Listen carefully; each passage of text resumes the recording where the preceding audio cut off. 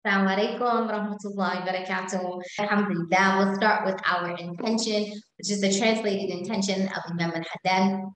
Bismillah. So repeat after me. I intend to learn and to teach, to benefit and to be benefited, to remind and to be reminded, to call to the book of Allah and the sunnah of his messenger, sallallahu alayhi wasallam, to guide and to be guided by soundproof and correct knowledge, to seek the countenance of my Lord, nearness to him and his reward. I mean, um, I mean, we're also here by the intention to expose ourselves to the mercy of Allah, by the intention to ask Allah to grant us an elevation, that He would grant us a proximity to the Prophet وسلم, that would that would rectify all of our affairs, rectify our complete spiritual, emotional, mental, and physical state. We ask that Allah subhanahu wa ta'ala may bless us that the seerah of the Prophet وسلم, may illuminate our minds and our hearts, that it may grant us an expansion in our breasts and our chests that Allah subhanahu wa ta'ala would bless us to be dignified by it, that Allah subhanahu wa ta'ala would allow us to be in close proximity to the Prophet in dunya wal akhirah. He would visit us in our dreams and that we would have a chance to visit him in Medina. And then, of course, that we would be resurrected with him and enter into Jannah with him. Allahumma ameen. So with that being said, uh, I'd like to discuss today's topic, inshallah, is the Battle of Uhud. So the last time that we were together, we discussed the Battle of Badr. And subhanAllah, it's interesting because at, even we were ending uh, right before Ramadan, our last class right before Ramadan. And it's in, in Badr, subhanAllah, happened during the month of Ramadan. And so that's the time we actually commemorate on the 17th of Ramadan uh, the, the battle of Badr, subhanAllah, and like to call out the names of the martyrs. And so the Battle of Uhud was literally like a response from the Quraysh about the level of defeat that they experienced during uh, during the Battle of Badr. Like there was just a, an overwhelming rage and an overwhelming sense of need for revenge to avenge their fathers, their brothers, their uh, sons who had actually been martyred during the Battle of Badr, subhanAllah. Uh, and it was something that just like the Quraysh were literally boiling because it was such an upset to them because it, it's not something they ever expected would have happened right? They went into the battle thinking, oh, this will be easy. This will be a piece of cake. We'll wipe them out. We'll go home. They did not see the Muslims at that point as any, as any threat to them at all. And yet, subhanAllah, they leave that battle severely defeated and, and deeply humiliated. Uh, and they lose some of the big leaders of Quraysh, right? The, the, the, the very important leaders of Quraysh, like Umayyah, Naima, like, I'm sorry, Umayyah, like uh, uh, Abu Jahl, they lose them, subhanAllah, in that particular battle. And so that's that's a big loss to, you know, for Abu Jahl to have passed away. And so now uh, Abu Sufyan bin Harb is actually the leader of the Quraysh. And there are a group of men, uh, including Ikramah, who is the son of Abu Jahl, that comes uh, to Abu Sufyan and says, listen, we have got to avenge, right? Including the son of Umayyah, who uh, was who Bilal ibn Rabah, who was the former slave owner of Bilal ibn Rabah, that when his son, you know, hears about the loss of his father, they, they just go to him and like plead, we've got to avenge our fathers. And so Abu Sufyan was able to actually um, to keep some of the spoils, basically some what was left from some of those caravans. Abu Sufyan had actually saved some of those caravans. And so they went to those who were the owners of the caravans and asked, can we use this wealth basically to wage a war, right? In their terms, to wage a war against Muhammad sallallahu alaihi And subhanAllah, uh, they actually agreed, like that's, this was a very big deal. And so they, uh, you know, basically sold everything that was in those caravans and it came back to be about 15,000 dirhams, right? So you can imagine like $15,000 uh, for this particular war that they had raised. And subhanAllah, they gave the Prophet to the you know to the owners of the caravan, but then they were able to take, or should they uh, they gave what was due to the to the owners of the caravan and took the Prophet in order to be able to uh, to wage this war. And so now it was subhanAllah, just it was on. They were ready, they were armed and ready and, and fueled with so much rage, subhanAllah. And that even uh, one of the, they had gone to the poets and asked, you know, these poets, it was like a literally like a smear campaign um, that they waged against the Prophet, wasallam, before the battle began. When they went to these poets, they literally wanted to uh, do two things. Of course, they wanted to smear our beloved messenger of Allah, and he said salatu wasalam, his character, and to deny what his message was about, to say that he was actually trying to separate family members and trying to separate tribes and trying to um, deviate from the religion of their forefathers, when in reality, he was trying to call them back to the true religion of their forefathers, subhanAllah. So this was the, the smear campaign against the Prophet, So, the Lord sallallahu alaihi wasallam. But in addition to that, the poets were actually uh, kind of like giving odes to those who had passed away in the battle of Badr to kind of you know arouse in them this sense of like we need to avenge their death and so, subhanAllah, they uh, used all kinds of tactics in order to get these poets to go to these different tribes and to actually speak about it. So if you can imagine, like in our day and time today, it would be like, you know, on every new on every news channel, on every channel that's playing, and every, you know, everywhere you go, you're seeing these particular messages being spread, right, about the Prophet so against the, the beloved messenger of Allah, والسلام, and then for um, the those who were martyred, right, who were killed, not the shuhada, clearly uh, the disbelievers who were martyred in this battle of Badr. And so this just, again, just became fuel for the fire.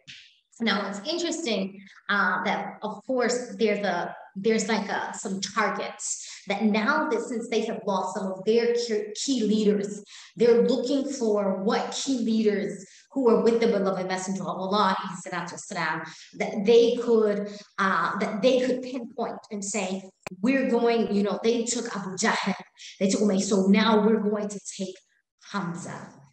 They were just so before, of course, the Hamza was beloved to them. But now, since he had sided with the Prophet Muhammad وسلم, and had fought in that previous battle, that uh, and particularly that he killed Tuaima, which was um, a, a leader in that community. So the daughter of the one that Hamza had killed came to Wahshi. And Wahshi was known uh, for basically his uh, like his spearmanship, guess you would say. He was known that he could hit a target from far and not miss. So he would be the equivalent of like a sniper today. And subhanAllah, uh, they told he was at that particular time a slave. And what they promised him was his freedom, that if he could actually uh, kill Hamza, either Hamza uh, radiallahu ta'ala or the beloved messenger of Allah alayhi salatu wasalam, or Abu Bakr or Umar, then any one of them, right now, what they're doing is targeting the leaders, that any one of them, if he was able to, to target them, to kill them, then he would have his freedom. And subhanAllah, it was, of course, this united, this, you know, uh, pushed in him, not so much that he wanted to uh, that he had any personal feelings against Hamza or the Prophet وسلم, but there was just this deep sense of wanting his own freedom. And so in that, uh, he signed up for this particular war. And so I want to just have, take a moment to be able to pull up some of the things that were important um, that led up to the particular battle itself, right? As we get ready, um, when we look at how the battle begins, how it all begins, that you know there was this request to Abu Sufyan. And then you know to wage war against the Muslims. And he agrees right? And then we have you know they literally send out the different poets as we mentioned. But Abu Sufyan makes a promise. He literally promises to not bathe right? Until he uh, is able to avenge the deaths and Badr he literally refuses to bathe. Right. That's that's like I, I I can't even imagine, you know, of course, what he smelled like. Um, but also just that feeling of like, I'm not going to feel a sense of cleanliness until after this. And it, there's something so amazing because uh, there's so many things Allah subhanahu wa ta'ala is showing us right, about who he is, even in this particular battle. In the battle of Badr, we begin to witness subhanAllah, the power of Allah Azza wa Right? And the, the greatness and the grandeur of Allah Azza wa In the battle of Uhud, what we begin to recognize is the immense mercy and compassion. And I'm, I'm going to get to that in the end because as we list, of course, like the likes of Ikrama, who is the son of Abu Jahl, of course, Abu Sufyan, watching as we uh, even uh, Khalid ibn Walid, who is the leader at this time of the army, as we begin to list these people at the end, what we find out, right? They're ending all, all of those who were some of the top, uh, you know, enemies of Islam and the Prophet وسلم, ended up having a different ending.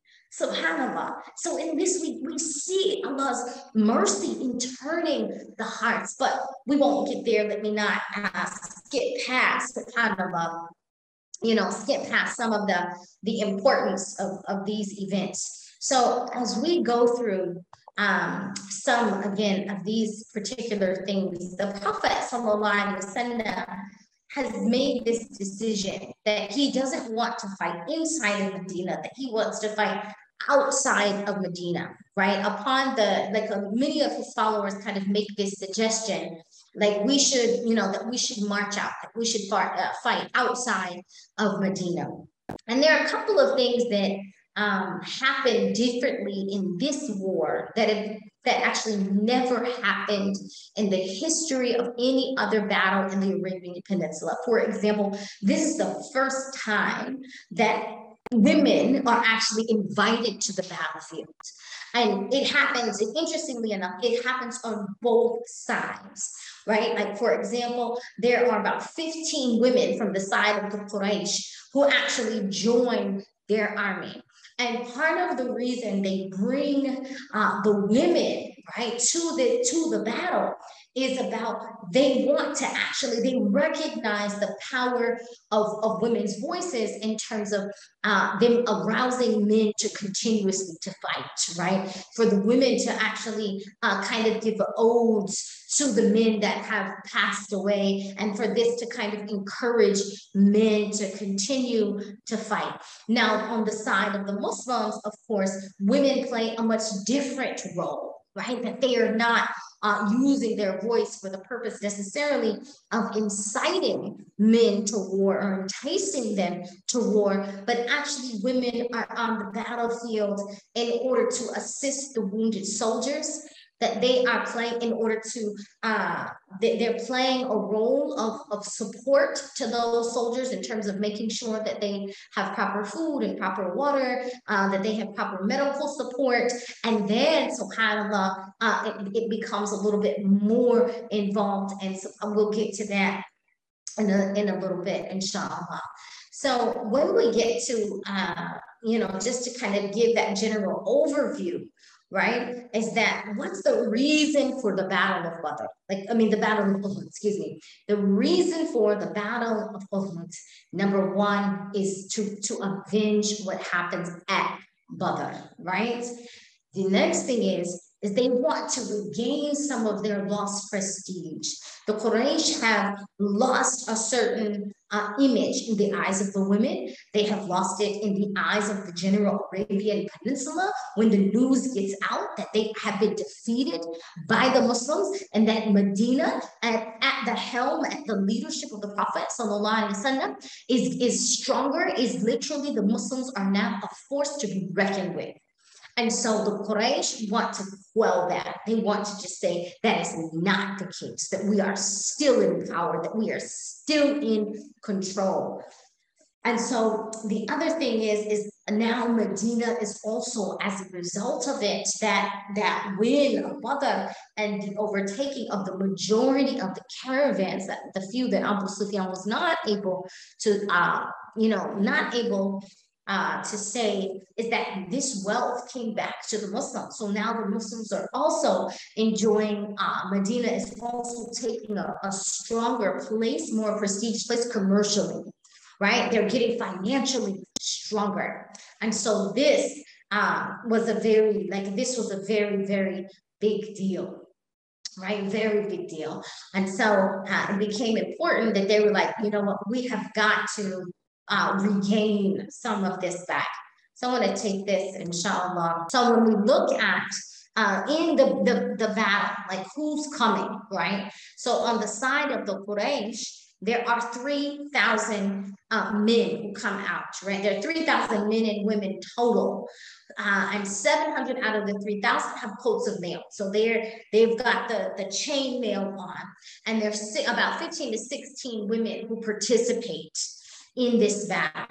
And who's there? Hind bint Utbah, and who is the wife of Abu Sufyan, right? And as we know, she's the one who is really encouraging Wahshi as well. Like if you kill Hamza, right, the reward that we will give you. Right? The granddaughter of Abu Jahl, and Fatima, the sister of Khalid Walid. So these are some of the women who are prominent, who are on the side of the Quraysh. Then we have, uh, when it comes to being able to pull this up, when it comes to who was, you know, what was happening on the side of the Muslims, we have, subhanAllah, uh, we, we have some of the greats who were actually, subhanAllah, amongst the women who were present. Um, there were Aisha radiallahu ta'ala and Umm Salima um, and we'll get to her strong role in this total. So now they're only total altogether, right? Men and women, they're between 700 to a thousand. They're still, you know, one to three, they're still one third of the population of the Quraysh right? And so remember, there were 700 on the side of the Quraysh who had coats of mail who were heavily armed, armored, but there are only 100 on the side of the Muslims, subhanAllah. Um, and so this was something that, you know, we begin to see the same the same disparity is happening in terms of the amount of people as well as the, the resources. The Muslims are still the underdog in this situation, yet subhanallah they're still have you know in terms of their courage and their iman and they're they're you know ready to meet them on the battlefield that doesn't change subhanallah and so uh, going back, I want to be able to pull this up, inshallah, for us to be able to see one of the most powerful images for me is just the is the mountain Uhud. Now today in Mecca, when we visit, uh, I'm sorry, when we go to visit uh, make these trips sorry, to Mecca and Medina, when we go to the mountain of Uhud, Uhud is only about, you know, less than a third of what it was during the time of Rasulullah It is not actually at all uh, what it was, you know, at that particular, like, you know, we would say during its heyday, um, that it's much smaller. But at least we're able to kind of get a sense of exactly where uh, the Muslims were standing, right? Like where, and it's the Uhud, even though we think of it just as one, we usually look at Uhud as just the, the mountain like we see on our screen, but in reality, Uhud is a, is a, a range of mountains that are surrounding that particular area, right? That Uhud is a range of mountains. And so, subhanAllah, there is a bypass, right? And it's important to know that because it's going to play a, a very important role in terms of what happens uh, in terms of the battle itself. And so when we look at when we look at subhanAllah, where the Prophet sallallahu alaihi wasallam, we, we will be able to see uh, where the first phase of the battle took place. And we saw that here, that it um, began here.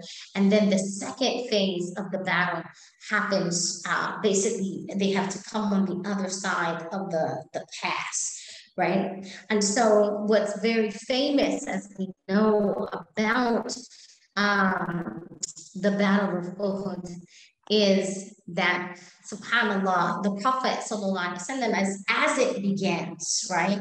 The prophet wasallam is is very heavy-hearted. And he's you know feeling he's he's, he's consulting with his companions.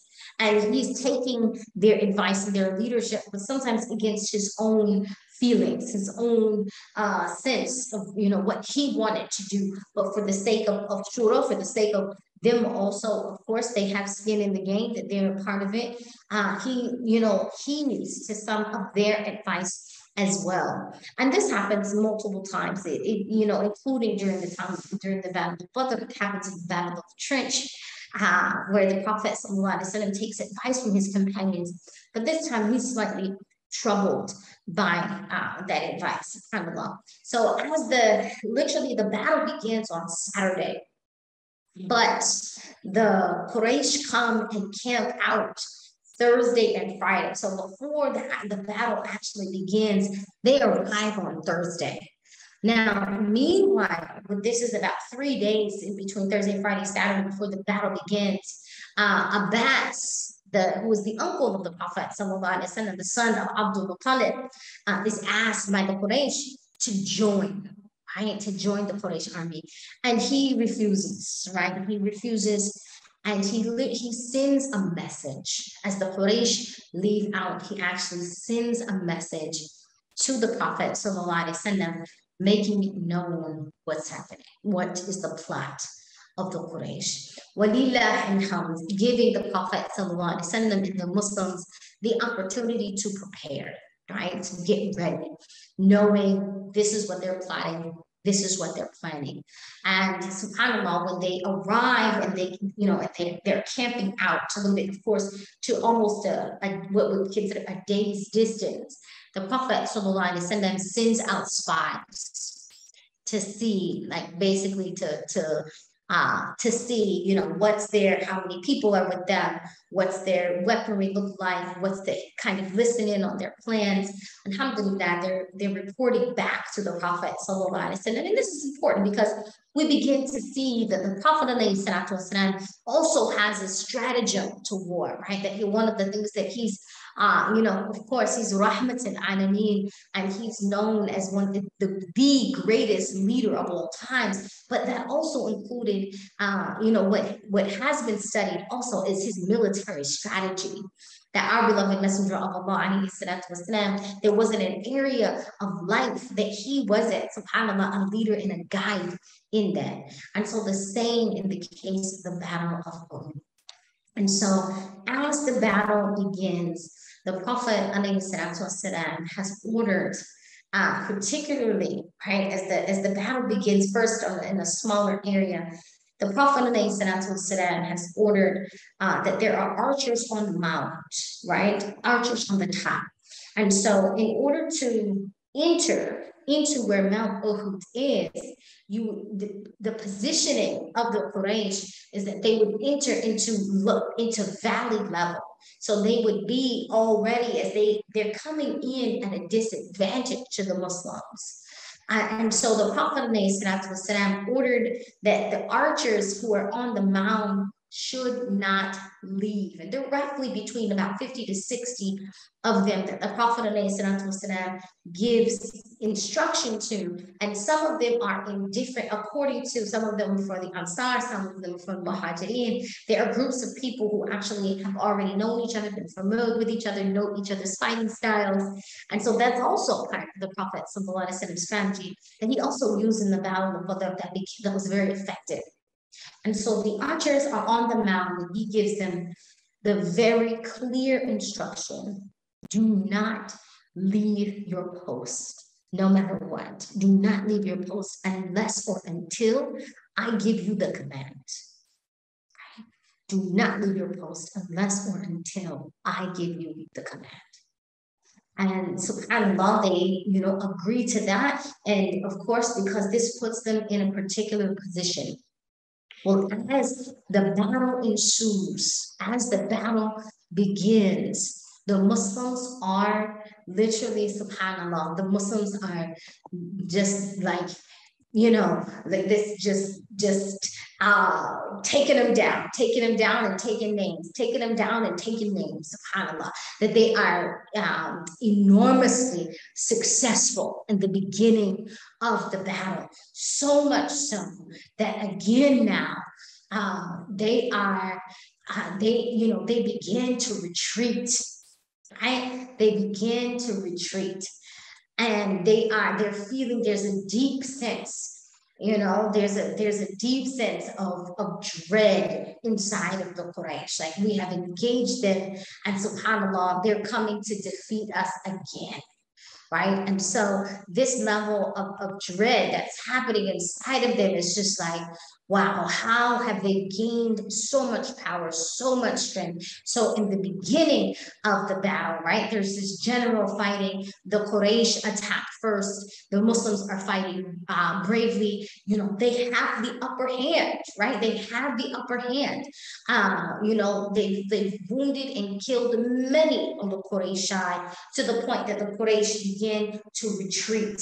Now, as they are retreating, right? As they are retreating, uh, literally, this is that fateful moment that when the Quraysh literally start to run away, the archers on the mount who are who have been instructed by the Prophet وسلم, to not move their post until the Prophet gives, unless or until the Prophet gives the command. They begin to believe the fight is over. It's over right? They're they're retreating. And so they pass, they begin to spread the message amongst them that they are retreating. And so they run right away uh, from the battlefield and they leave exposed all of the spoils of war that they've left with them. And so the archers of the mount, seeing that, said, Hey, it's over, we won. They begin to cheer and they begin to descend from their position. And subhanAllah, there are some who, there are about 15 to 17 who are still standing, calling the others back, saying, No, come back. The Prophet told us not to leave. And the ones who, about the 35 of them who have descended, are saying to them, Listen, he, yes, he told us that, right? But he was telling us that during the while it was war, while the war was on. But now the war is finished. So literally, they took this uh, the words of our beloved Messenger of Allah والسلام, and began to put their own interpretation on it. Right? And the ones who were calling them back were saying, No, he told us not to leave unless or until his command, period right? That was their position. But the ones who were descending were saying, yes, he said that. And he meant that while the war was going on. And so in that moment of their just adding that that small little um, nuance, right? Even to what the Prophet ﷺ was saying, literally as they descended and began to collect some of the spoils of war, and they're the archers trying to call them back. Now, we can imagine there are archers on the mount here, right? And the Prophet وسلم, is actually standing guard, right, on, on this side of the mountain, on almost of the same, um, nearly close to where the, the valley where he could see the battle very clearly happening down on the ground, as well as being able to see what's happening on top, as well as he has access to be able to see where the women are right? Where the women and any wounded soldiers are being taken. Like that's the the view he has from where he's standing. He can see what's happening on the on top, on the ground, in the front. He can he has access to be able to see where the women are. He's got a view of all of this. And when he sees the archers begin to descend, he, he recognizes this is going to create a vulnerability. And just as that happens, now that they are down, right, majority are down, the pass over here, right, uh, is now exposed. This side is now exposed. There's a, a passway. And literally what happens is that Khalid ibn then as they're retreating, right, as, the, as they are retreating, Khalid ibn Walid comes on this side, right? And begin to now, now position the Quraysh to be on top of the mountain. So this is important. You've got the Prophet Wasallam seeing this, witnessing what's about to happen. He is running up one side of the mountain and the Quraysh army is coming on the other side of the mountain. You only have a very few amount who are standing, who are still on, and majority of the Muslim soldiers are now on the ground. And the battle has turned. Right? And the women, subhanAllah, there's one woman, Nusayba Umm Amara, who is watching this event. She can see the Prophet running up the mountain. She can see the, the Quraysh actually running up the other side. She was in the tent with the women, known for her uh, medicinal care, for you know, and she runs, right? She runs up uh, up the mountain, subhanAllah, uh, in order to intercept, to place her body as a shield. She uses her body as a shield uh, to stand between the Qurayshi army, right, and the beloved messenger of Allah, wasalam, because the Prophet wasallam, he's coming to call back the soldiers, but he doesn't see how quickly the Qurayshi army are coming up the other side. But Umm can see both sides. And so she runs and intercepts right at the moment before the Prophet وسلم,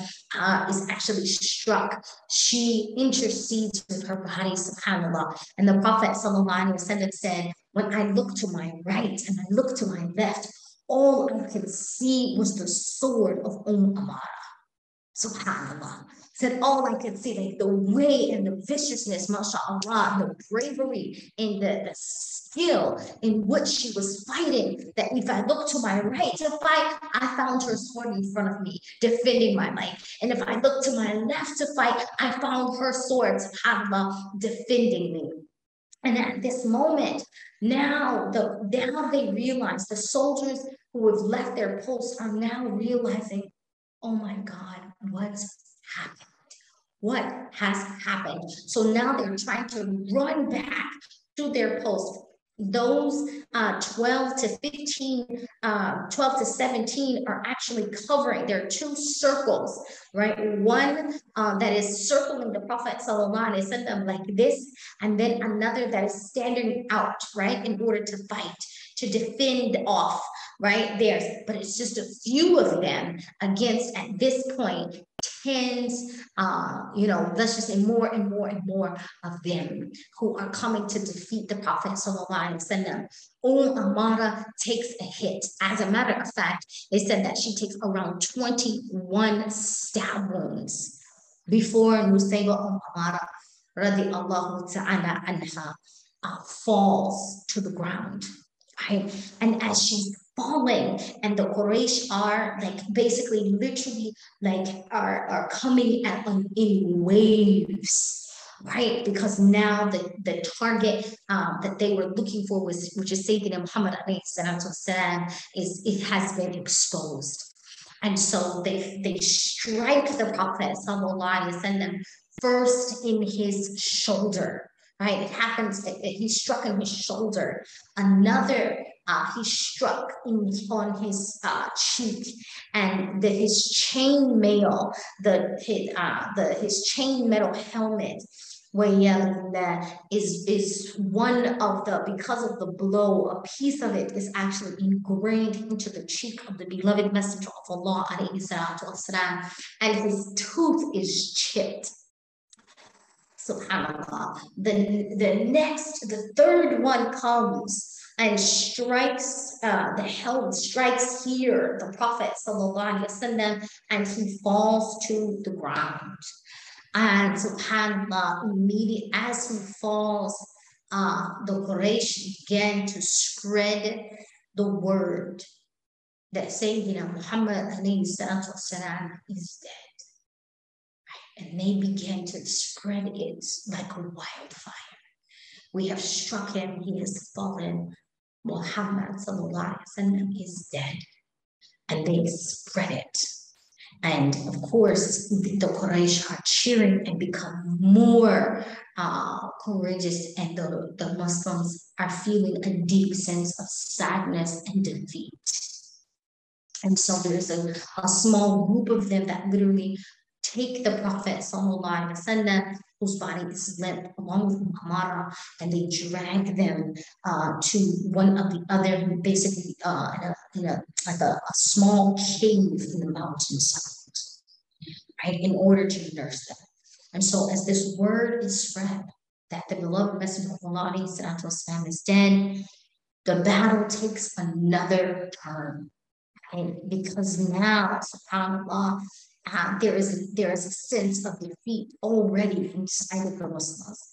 There's a sense of, of deep hurt already existing inside of the Muslims. And so, subhanAllah, uh, this is when it, it, it just becomes, they literally lost hope, right? They're, they're, they literally have just lost hope. And so the fighting, subhanAllah, almost becomes like one-sided, right? It just becomes like one-sided. Um, and as it becomes one-sided, subhanAllah, like the, you know, literally uh, the companions of the Prophet are doing their best to just like try to maintain their composure for what has occurred, right? For what is is has occurred, subhanAllah. Um, and literally in this particularly uh, battle, they fought until the uncle of the Prophet Wasallam, Hamza, by Wahshi that we mentioned in the beginning, takes a spear and you know identifies exactly Hamza and throws it and strikes him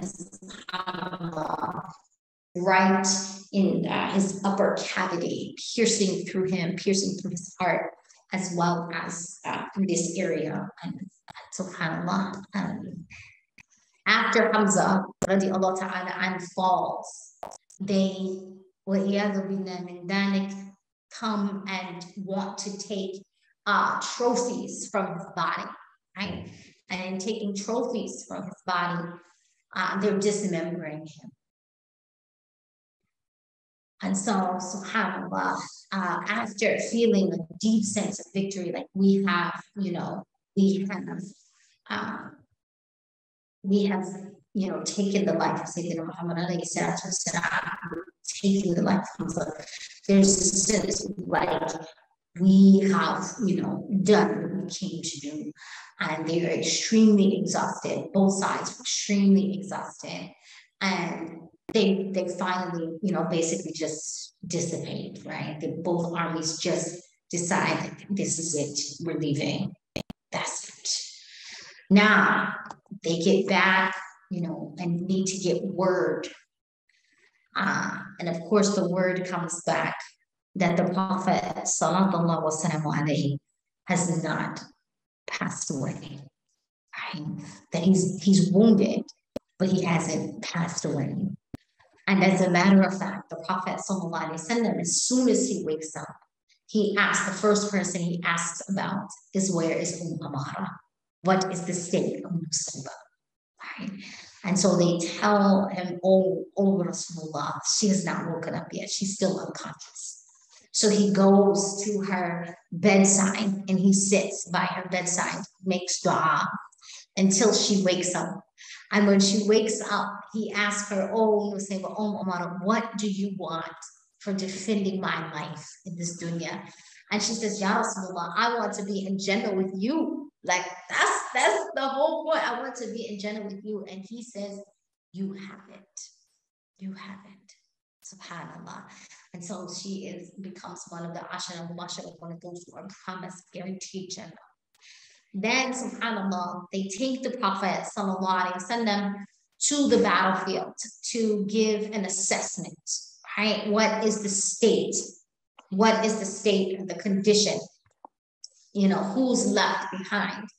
And when this happens, when the Prophet وسلم, goes to give the assessment and he is a witness to uh, the body of his beloved uncle Hamza, it said that the Prophet وسلم, lets out a sound.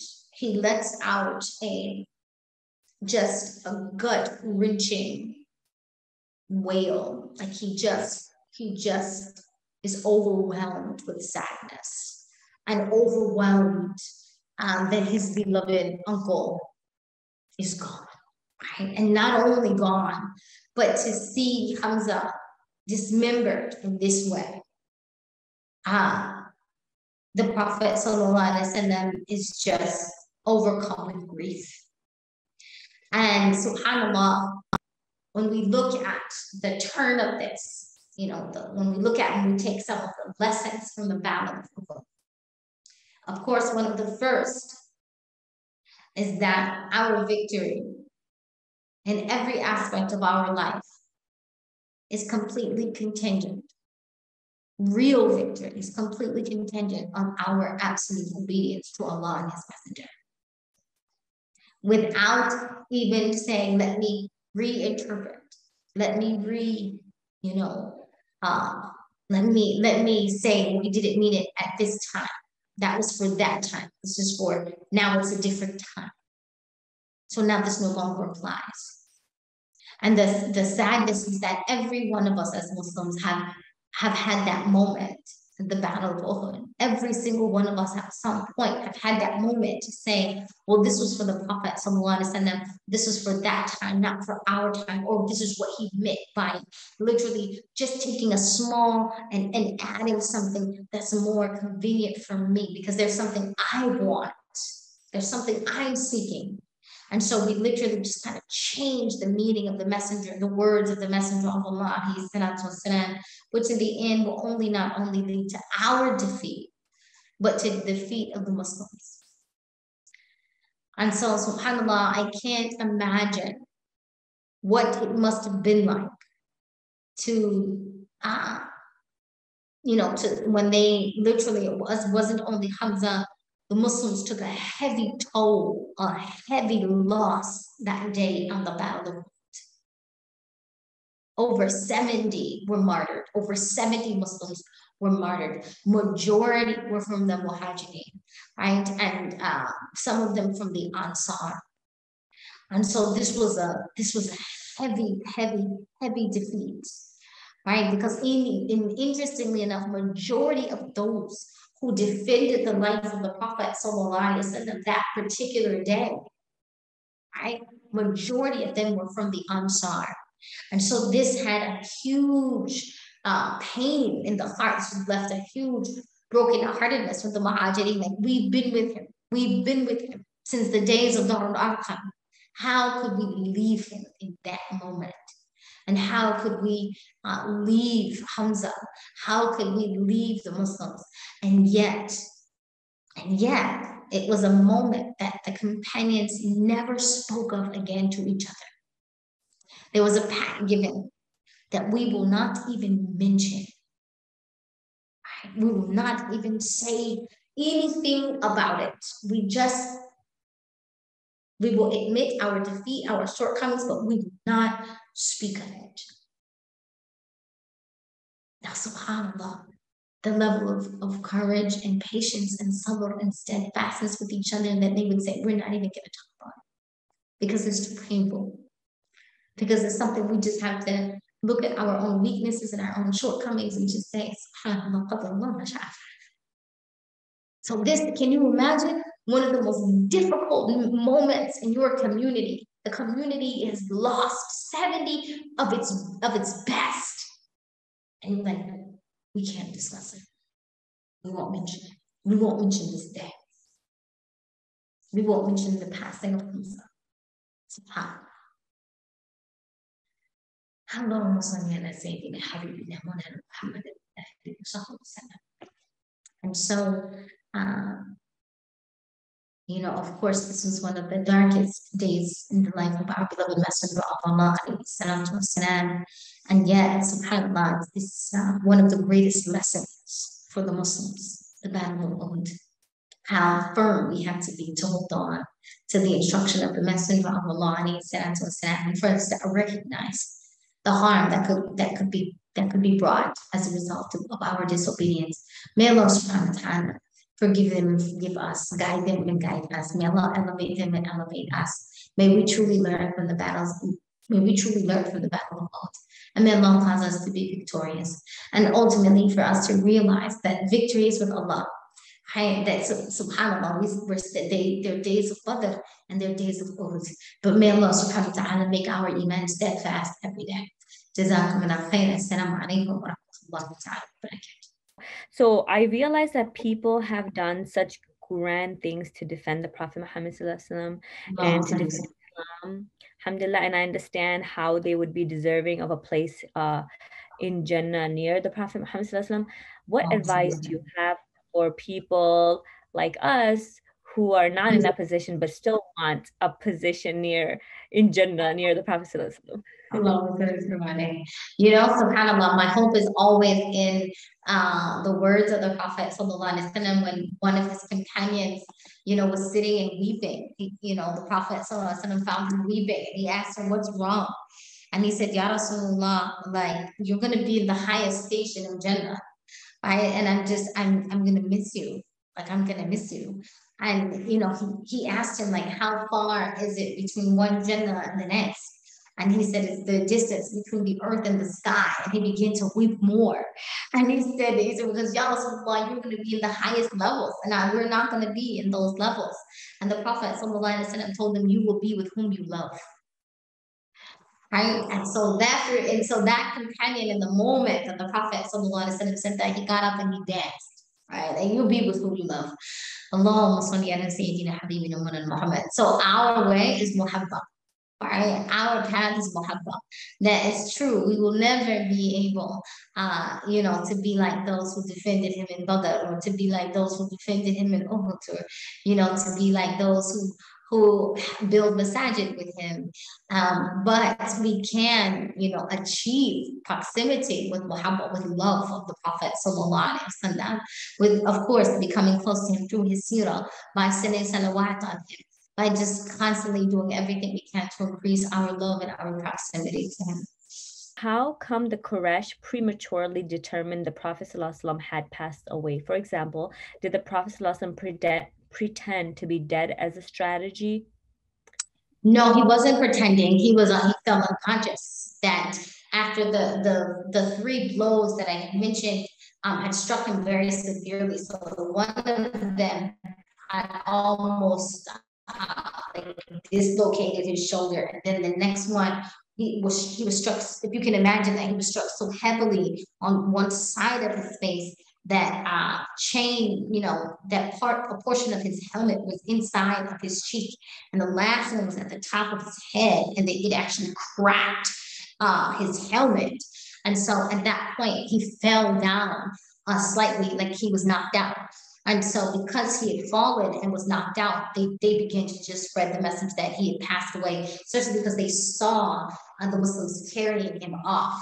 And so then they just kind of, you know, made that assumption. Uh, and subhanAllah, wasn't, uh, yeah, and it, it wasn't until later that he actually woke up from those wounds from, from being unconscious.